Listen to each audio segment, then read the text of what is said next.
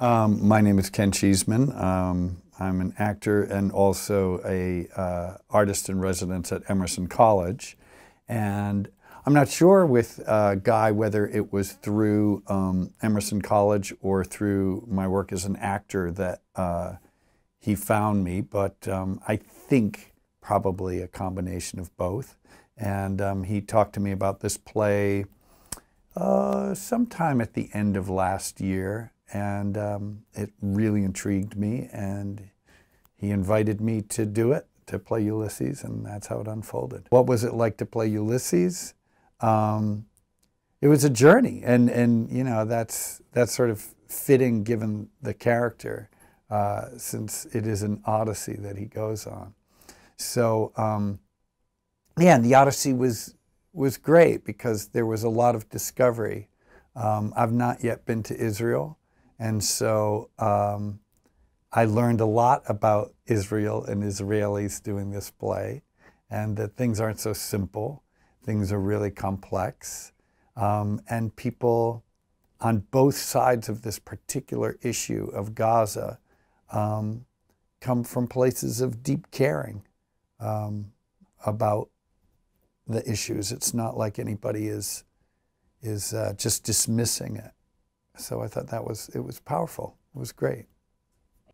Well, I think you know before I go on any journey, I try to put expectations aside.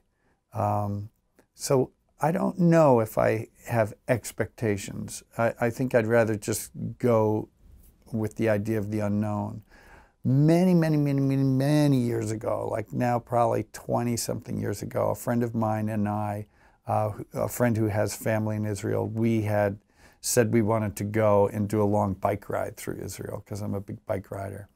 And um, unfortunately, my friend died, and so uh, we didn't get to go. So I'd always had that in the back of my head. And then I met Guy's father, and his father's like a big bike rider. So now I'm like going, oh, at least I know. I and now I know two other people there who also bike. So I'm thinking I'm going to call them and and show up and maybe plan a long ride. Uh, and just sort of see what I see and discover what I discover, but without expectation. I think I should just go open minded.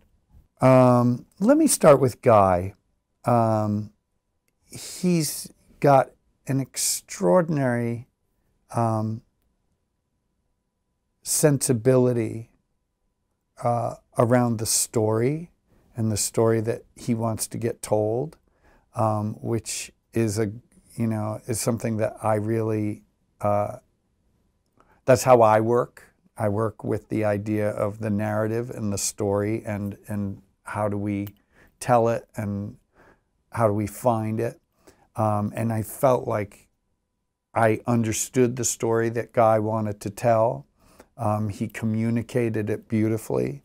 Um, you know, in terms of, uh, you know, his chronological age, he's a young guy, but he had a real uh, mature wisdom to the way he directed. He had a great deal of confidence, and I absolutely loved working with him. He was just terrific, just really, really, really terrific.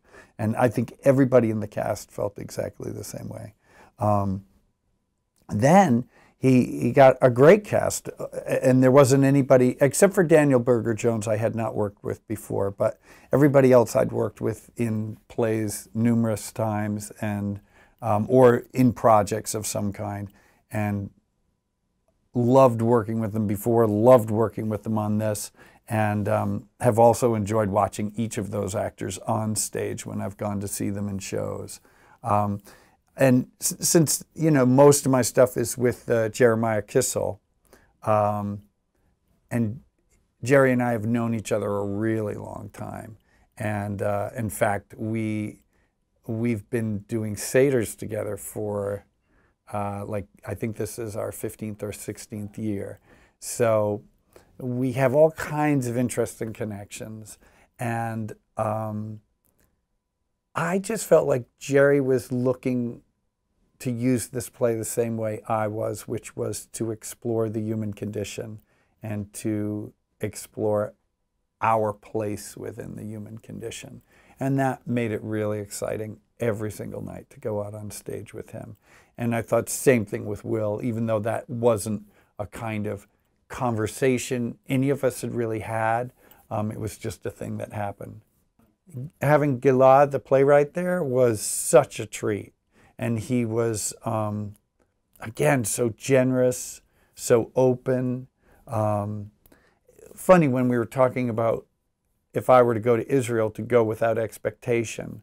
I felt like uh, Gilad came without expectation in, in, in the best of ways and was just open and generous uh, with us. And I never felt imposed upon by him. Um, I felt like he was in the process of discovery with the play. Uh, yeah, that was great. Eh, what a what a great human being he is. Really, really interesting man. Okay, so future of Israeli stage. Um, there was something that got brought up in rehearsals that was interesting, which was, you know, why Israel? Why, why all this attention on this? You know, it's not that big a country, and when you think of Gaza, how tiny that is. Um, why in the news? Why all this negotiating, talking? And I've been giving a lot of thought to that from the play, and I think it has to do with, with Israel, with the Middle East being such a cradle of the civilization that we all share. I think that it is a point of, of so many cultures when you think of where the Middle East is placed in relationship to India, to Africa, to Europe, to Russia, to China, that it, it, it is a place where things meet. And the issues that are being grappled with in the Middle East and in Israel in particular, I really think every person on the planet should make some effort to see if they can be resolved, see if we can find ways of living together, of working together, of being together um, in that place. And I think if it could happen there, it would spread through the world. And so I think Israeli stage, and it looks like, you know, certainly with this play, what it's doing is taking that microcosm of Israel and letting us see it so that we see its universality. We see all of us in that. And I think that that means what a terrific future for this group because that's the nature of art and performing arts and, and that. So I just think it's got a really good future. Amazing. That's it. All right, cool. Perfect. Thank you so much. You're welcome.